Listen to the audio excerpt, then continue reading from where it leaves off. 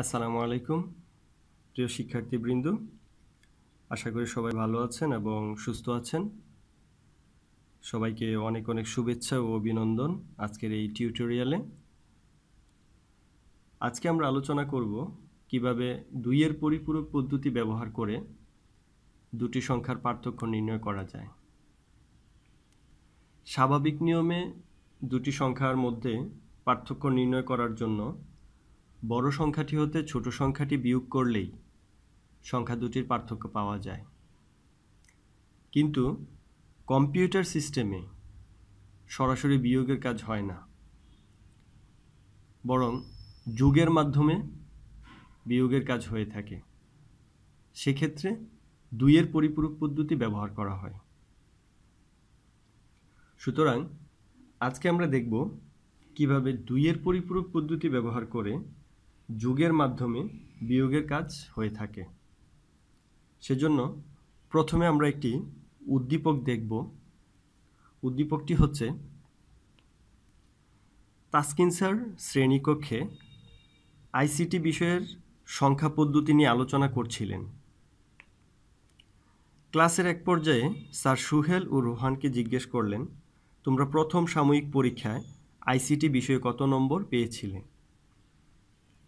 সুহেল বলল, one zero five base eight এবং রোহান বলল, ফোর এফ বেজ সিক্সটিন পিছনে বসে থাকা মিতা বলল, স্যার, আমি তো one zero zero one one one base two পেয়েছি।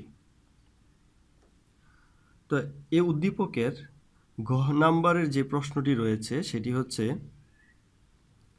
সুহেল ও রোহানের প্রাপ্ত নম্বরের মধ্যে পার্থক্য যুগের মাধ্যমে নির্ণয় করা যায় কি না?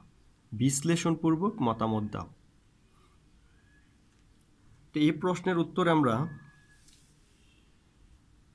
বলতে পারি, সুহেলের প্রাপ্ত নম্বর one zero five base eight এবং রোহানের প্রাপ্ত নম্বর ফোর এফ বেজ সিক্সটিন। তাদের দুইজনের প্রাপ্ত নম্বরের পার্থক্য যুগের মাধ্যমে নির্ণয় করা সম্ভব। কেননা কম্পিউটার সিস্টেমে দুইয়ের পরিপূরক পদ্ধতি ব্যবহার করে যোগের মাধ্যমে বিয়োগের কাজ করা হয়। তারপর এখন আমরা দেখব কীভাবে অঙ্কটি করতে হয়। এই অঙ্কটা করার জন্য প্রথমে যে কাজটি করতে হবে সেটা হচ্ছে সুহেল এবং রোহানের যে প্রাপ্ত নম্বর, সুহেলের হচ্ছে ওয়ান জিরো ফাইভ, বেজ হচ্ছে এইট এবং রোহানের হচ্ছে ফোর এফ বেজ সিক্সটিন। এই দুটি সংখ্যার মধ্যে কোন সংখ্যাটি বড় এবং কোন সংখ্যাটি ছোট, সেটা আমাদেরকে আগে নির্ণয় করতে হবে। তাহলে এই সংখ্যাটাকে যদি আমরা দশমিকে রূপান্তর করি, তাহলে এর মান হবে ঊনসত্তর। আর এই সংখ্যাটাকে যদি আমরা দশমিকে রূপান্তর করি, তাহলে এর সমতুল্য দশমিক ভ্যালু হবে উনআশি তাহলে এখানে দেখতে পাচ্ছি যে এ সংখ্যাটি, অর্থাৎ রুহানের প্রাপ্ত নম্বর, সুহেলের প্রাপ্ত নম্বর থেকে বড়। তাহলে যে সংখ্যাটি বড়, সে সংখ্যাটির বাইনারি মান আমরা সরাসরি আট বিট রেজিস্টারে বসিয়ে ফেলব। তাহলে এটার মান যদি আমরা আট বিট রেজিস্টারে বসাই আট বিট রেজিস্টারে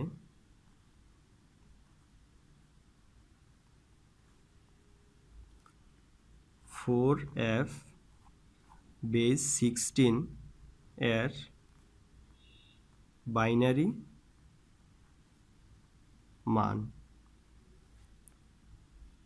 এটাকে যদি আমরা বাইনারিতে রূপান্তর করি, তাহলে হবে four F zero one zero zero.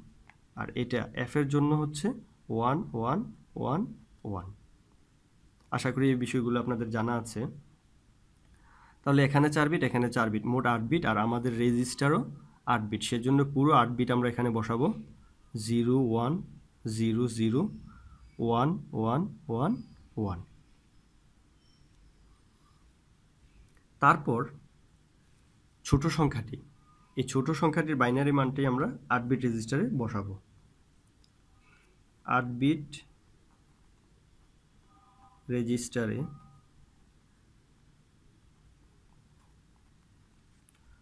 one zero five base eight এর বাইনারি মান।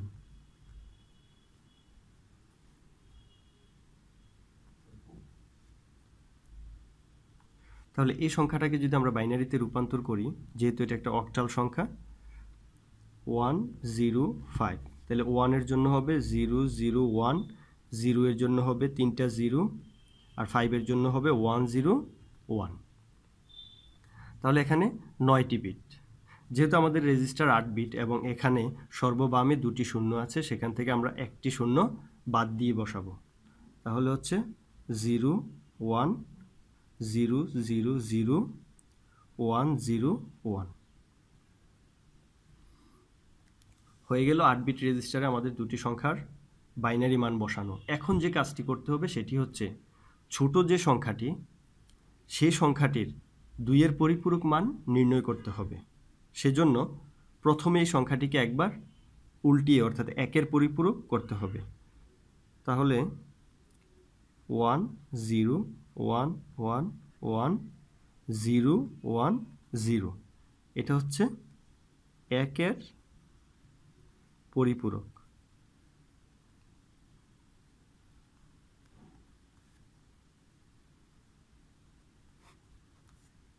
তারপর এই একের পরিপূরকের সাথে এক যোগ করলেই হয়ে যাবে সংখ্যাটির দুইয়ের পরিপূরক। তাহলে যোগ করলে জিরো আর ওয়ানে যোগ করলে হচ্ছে ওয়ান, তারপর one, zero, one one one, zero, one. এটি হচ্ছে দুইয়ের পরিপূরক।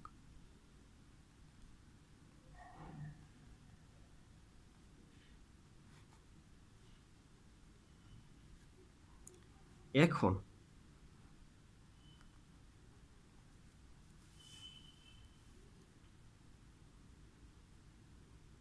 এই ছোট সংখ্যাটির যে দুইয়ের পরিপূরক মান আমরা নির্ণয় করেছি, এই দুইয়ের পরিপূরক মানটি বড় যে সংখ্যাটি রয়েছে, অর্থাৎ ফোর এফের যে বাইনারি মান, আট বিট রেজিস্টারে আমরা বসিয়েছি, এই সংখ্যাটির সাথে এই সংখ্যাটি আমরা যোগ করব। যোগ করলে আমরা আমাদের কাঙ্ক্ষিত ফলাফল পেয়ে যাব। সেজন্য প্রথমে আমরা বসাবো four F sixteen equal to এর সমতুল্য বাইনারি মানটি হচ্ছে zero, one, zero zero, one one one one. তারপর হচ্ছে ওয়ান, জিরো, ফাইভ। এই সংখ্যাটি এখানে ধনাত্মক, কিন্তু যখন আমরা দুইয়ের পরিপূরক করেছি, সংখ্যাটি তখন ঋণাত্মক হয়ে গেছে। এখন আমরা এখানে ঋণাত্মক মানটি বসাবো। One zero five. Base eight. এর মান হচ্ছে one zero one one one zero one one. এখন এই দুটি সংখ্যাকে আমরা যোগ করব। যোগ করলে, ওয়ানে ওয়ানে যোগ করলে হচ্ছে টু। টু আমরা বাইনারিতে লিখে থাকি ওয়ান জিরো। তাহলে আমরা এখানে জিরো লিখব এবং হাতে ওয়ান থাকবে। তাহলে জিরো হাতে আছে ওয়ান। এই ওয়ান যদি আবার এই ওয়ান দুটির সাথে যোগ হয়, তাহলে তিনটি ওয়ান হবে, তিনটি ওয়ান হচ্ছে তিন, আর আমরা তিন লিখে থাকি ওয়ান ওয়ান। সেক্ষেত্রে আমরা ওয়ান লিখব এবং হাতে আবার ওয়ান থাকবে। তাহলে ওয়ান আর জিরো যোগ করলে হয় ওয়ান, ওয়ানের সাথে হাতের ওয়ান যোগ করলে হবে টু। টু এর জিরো লিখব হাতে আবার ওয়ান থাকবে। তাহলে ওয়ানে ওয়ানে টু এবং হাতের ওয়ানে যোগ করলে হচ্ছে থ্রি থ্রি এর ওয়ান হাতে থাকবে এক জিরো আর ওয়ানে যোগ করলে হচ্ছে ওয়ান হাতের ওয়ান যোগ করলে হচ্ছে টু টু এর জিরো হাতে আছে ওয়ান এখানে যোগ করলে আবার হচ্ছে টু টু এর জিরো হাতে থাকবে ওয়ান এক্ষেত্রেও ওয়ান জিরো যোগ করলে হয় ওয়ান ওয়ানের সাথে হাতের ওয়ান যোগ করলে হচ্ছে টু সেক্ষেত্রে জিরো এবং হাতে থাকছে ওয়ান। জিরো আর ওয়ানে যোগ করলে হচ্ছে ওয়ান এবং হাতের ওয়ান যোগ করলে হচ্ছে টু। এক্ষেত্রে আমরা টু লিখে ফেলব। এখানে আমাদের যোগফলটি হচ্ছে দুই, চার, ছয়, আট, নয় বিট। যেহেতু আমরা আট বিট রেজিস্টার নিয়ে কাজ করছি, সেক্ষেত্রে অতিরিক্ত যে ক্যারি বিট ওয়ান, সেটি বিবেচ্য নয়। এই অতিরিক্ত ক্যারিবিট বাদ দিলে আমাদের যে সংখ্যাটি রয়েছে, এই সংখ্যাটি একটি ধনাত্মক সংখ্যা আর এই সংখ্যাটির সমতুল্য দশমিক মান হচ্ছে দশ।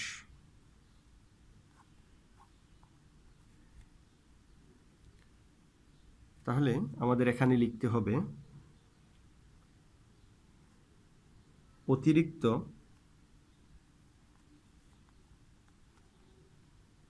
ক্যারি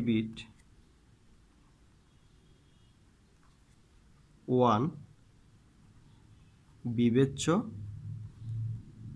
নয়। সুতরাং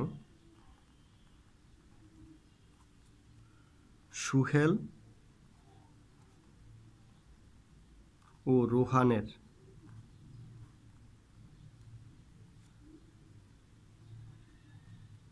প্রাপ্ত নম্বরের পার্থক্য।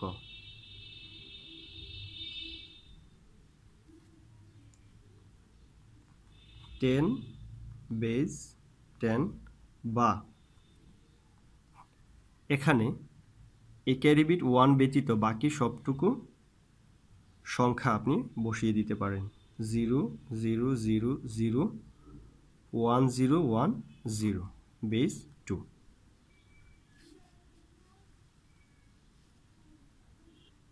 এই হলো দুইয়ের পরিপূরক পদ্ধতি ব্যবহার করে দুটি সংখ্যার পার্থক্য নির্ণয় করার নিয়ম। তো আশা করি আপনারা দুইয়ের পরিপূরক পদ্ধতি ব্যবহার করে যে কোনো ধরনের অঙ্ক করতে আপনাদের আর কোনো সমস্যা হবে না। তো আজকের মতো এখানেই বিদায় নিচ্ছি। সবাই ভালো থাকেন এবং সুস্থ থাকেন। আল্লাহ হাফেজ। আসসালামু আলাইকুম।